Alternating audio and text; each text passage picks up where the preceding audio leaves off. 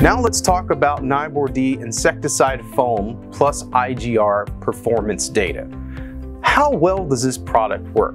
Now, one of the toughest organisms that you're going to come across in many of these commercial facilities is large roaches, like American roaches and Oriental roaches.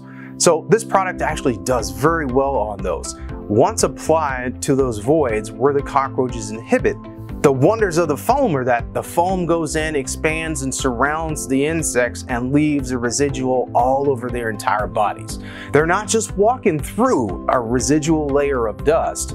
They're not just walking over a pyrethroid they are getting coated completely in this, which means that death occurs fast, and it also means that the, as the cockroaches move around, they're going to contact one another, and they're going to spread that throughout um, the areas that they're in. Very, very similar to the way a lot of your uh, slow acting pesticides work.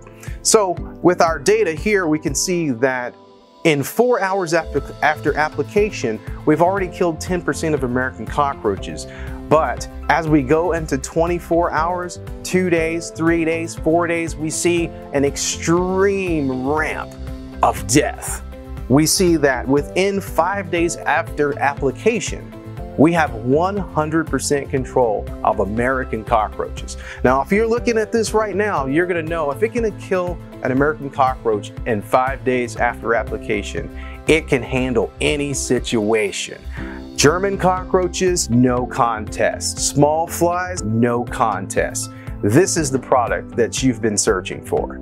All right, now let's talk about German cockroach control. As you know, this is one of the most difficult pests to get rid of in commercial facilities, residential, it is just tough. So we have the answer for you. We have a good answer for you. If you take a look at this chart, in just 30 minutes to an hour, we're looking at 25% kill on German cockroaches. After 24 hours, we are looking at already having 80% kill on German cockroaches after application. Within three days after treatment, we have 100% kill.